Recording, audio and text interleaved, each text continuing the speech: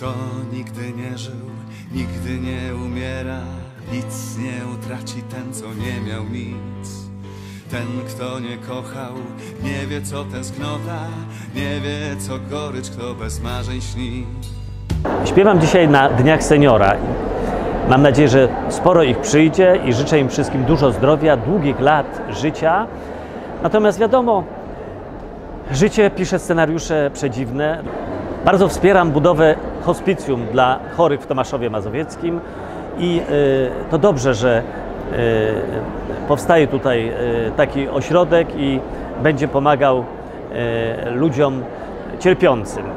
Wspieram to z całego serca.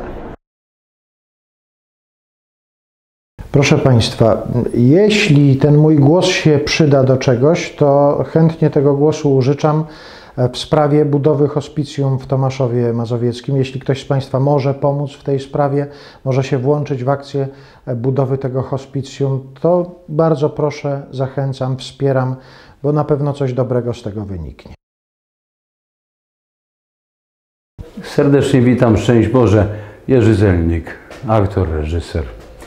No, z całego serca popieram inicjatywę zbudowania całego hospicjum tutaj w Tomaszowie Mazowieckim. Z własnego doświadczenia wiem, jak potrzebna jest taka pomoc całodobowa tym ludziom, którzy są właściwie na tym progu między życiem a śmiercią y, z powodu ciężkich chorób, z powodu mm, prostego takiego organizacyjnego powodu, że rodzina nie jest w stanie zapewnić tej całodobowej opieki, prawda? I tutaj ludzie dobrej woli, profesjonaliści mogą się zająć tymi, którzy dostali taki wyrok w postaci właśnie diagnozy jakiejś takiej no, dramatycznej. Także bardzo serdecznie wszystkich zachęcam, żeby popierać taką inicjatywę, bo to jest nieodzowne. Wszyscy będziemy doświadczali tej starości, oby nie była aż tak yy, dramatyczna, aż tak pełna bólu, cierpienia. Pozdrawiam serdecznie, Jerzy Zelnik. Popieram każdą e, sensowną e, organizację społeczną, grupę, która chce wesprzeć e, potrzebujących, no w tym wypadku bardzo chorych i śmiertelnie chorych, także jak najbardziej popieram budowę stacjonarnego hospicjum w Tomaszowie Mazowieckim. Witam, to Michał Urbaniak. Bardzo popieram budowę hospicjum onkologicznego w Tomaszowie Mazowieckim. Witam Was Marek Piekarczyk. Pozdrawiam serdecznie mieszkańców Tomaszowa Mazowieckiego i oświadczam, że popieram budowę stacjonarnego hospicjum w Tomaszowie Mazowieckim. Sam wspieram kilka takich akcji. Pomagajcie. Nikt nie wie, jaka jest nasza przyszłość. Słyszałam, że w Tomaszowie e, powstaje hospicjum onkologiczne. Jestem niestety bardzo blisko związana z hospicjum onkologicznym, ponieważ tam e, odszedł mój mąż w Warszawie. Popieram wszystkie możliwe hospicja jak mogę, e, w jakiś sposób włączam się w spotkania, w jakąś tam fundację, która mm, zbiera pieniążki na te hospicja. Także życzę powodzenia, aby to hospicjum powstało jak najszybciej i żeby tam było mimo wszystko jak najcieplej. Wiem, że są y, plany, żeby w Tomaszowie powstało hospicjum dla chorych onkologicznie ludzi. No, nie wiem, widać, jak trzymam te kciuki, żeby się udało. Sam mieszkam na Ursynowie i mamy obok, y, no, przez Miedzę też takie hospicjum, bardzo tam często jestem. Na święta spędzamy razem czas. Wiem, jakie to jest dla nich ważne, dla tych pacjentów. E, I tyle, to jest takie zwykłe, ludzkie, empatyczne. Jest to bardzo, bardzo potrzebne miejsce. Tu Natalia Półpolska. Ja wspieram budowę Tomaszowskiego Hospicjum. No popieram budowę hospicjum w Tomaszowie. Byłbym chyba idiotą, gdybym takich akcji nie popierał. Kochani, nasze życie ma sens wtedy, kiedy pomagamy drugiemu człowiekowi.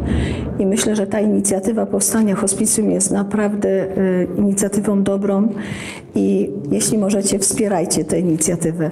Ja y, uważam, że y, człowiek, y, kiedy pomaga drugiemu człowiekowi, staje się lepszy i łatwiej mu jest też przeżywać różne trudności w swoim życiu. Wszystkiego dobrego i pomagajcie. Najważniejsi ludzie to są ci, którzy pomagają innym. Tak się dzieje, jeśli chodzi o Wasze hospicjum. I tym wszystkim darczyńcom, opiekunom chciałem z całego serca Bóg zapłać powiedzieć. Niech Wam Bozia szczęści i wszystkiego dobrego. Trzeba myśleć o ludzi w potrzebie też, dlatego nasze pokoleniowe projekty też wspierają. Trzeba dać ten 1% dla ludzi w wielkiej potrzebie, szczególnie choroby nowotworowe, które są plagą naszego życia. A w tym hospicjum jest niestety, jest brawo, że jest takie hospicjum, ale trzeba wspierać te hospicjum, żeby ono żyło i żeby cały czas było aktywne i pomagało tym ludziom w potrzebie. Popieramy, żeby powstało hospicjum.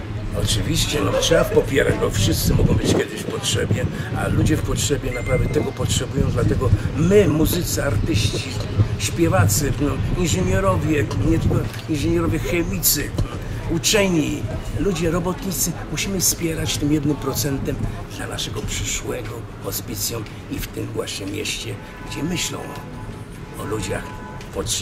I Oczywiście w Tomaszowie Mazowieckim, Panie Marianie, tak? W Tomaszowie Mazowieckim. No oczywiście. No, I popieramy Bo mało, że. Że życzymy, żeby było jak najwięcej tych hospicjum i pomysł na hospicjum jest to chyba najlepszy pomysł XXI wieku. Popieramy. Drodzy Państwo, y, pewnie wiecie, że życie ludzkie nie trwa wiecznie i jest tylko chwilą i na pewno warto jest pamiętać o tym, że y, no, nasz, nasza chwila może nadejść w każdym momencie, więc y, trzeba pomagać, trzeba y, się udzielać, trzeba, wspierać. Jest taka inicjatywa, która się nazywa Dwa Skrzydła w Tomaszowie. Bardzo serdecznie popieram tę inicjatywę i proszę Państwa, żebyście się udzielili y, energetycznie, żebyście po prostu dali coś siebie, cokolwiek, czy to będą pieniądze, czy to będą nawet y, y, godziny wsparcia.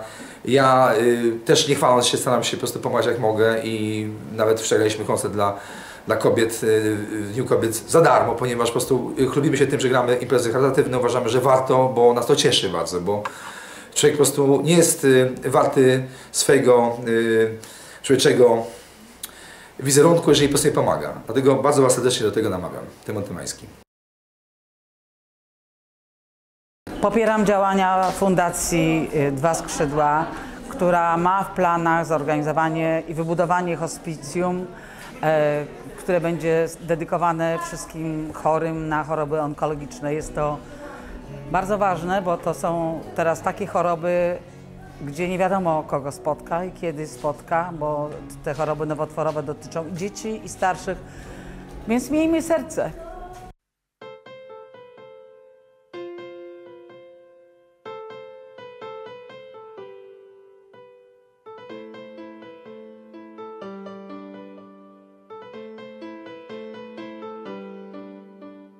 Kto nigdy nie żył, nigdy nie umiera, nic nie utraci ten, co nie miał nic.